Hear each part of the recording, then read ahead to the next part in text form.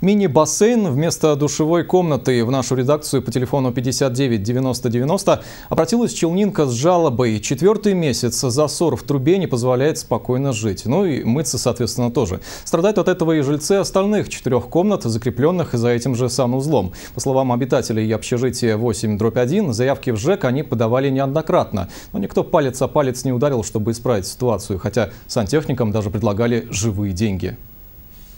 Этой душевой комнатой в общежитии пользуются жильцы сразу пяти комнат на этаже. Но с ноября это стало условным, ведь из-за засоренной трубы вода перестала уходить. И походы в душ превратились в ад, рассказывают жители общежития.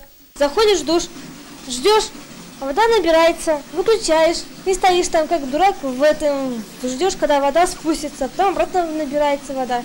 Напор, главное, хороший. Вода набирается в считанные минуты, но вот уходит чуть ли не часами, сетуют жители. Отсюда повышенная влажность. Тут недавно даже пришлось менять двери, прежняя просто сгнила. А еще у воды есть свойство переливаться через порог душевой и отправляться ручейками дальше, по коридору. Набирается вот, в трубе, и не радость, тут все пена, все мыло, все вот сюда, вот коридор выливается.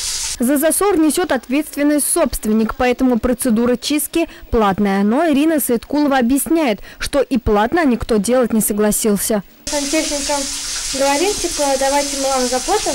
Там, они обещают, типа, заявка платная, типа, давайте я вам заплачу, там, 500 рублей, там, сколько скажете, приходите делать, они приходят, разворачиваются и уходят по словам Челнинки, заявки в местный ЖЭК она подавала три раза. Там объяснили, придет сантехник и с ним договоритесь. Но в самом жилсервисе от этого отреклись. Такого быть не может, мы такого не можем никак говорить, что на месте сантехника. Ну я же говорю, вот место есть, дело жизнь, она Такого не может быть. Угу.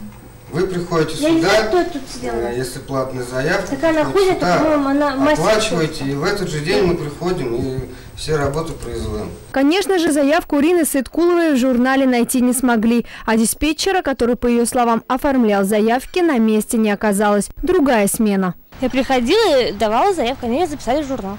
Два раза писали так. Номер заявки не отвечать, типа, какой номер заявки у вас, там ничего. Ноль, ноль эмоций. После долгих споров о том, кто прав, кто виноват, к общему решению все-таки пришли. Давайте я запишу вашу заявку. Еще раз? Я потому что искала, Давайте. я не нашла его. Работники ЖЭКа пообещали, сантехник придет в течение дня и все отремонтирует. Услуга обошлась Ирине Сыткуловой в 285 рублей, но Челнинка посетовала, денег-то не жалко. А вот потраченных на ерундовый, казалось бы, вопрос времени и нервов уже не вернуть. Кристина Маматова, Ландыш Капранова, Ильнар Мустафин, РЕН-ТВ, Набережные Челны.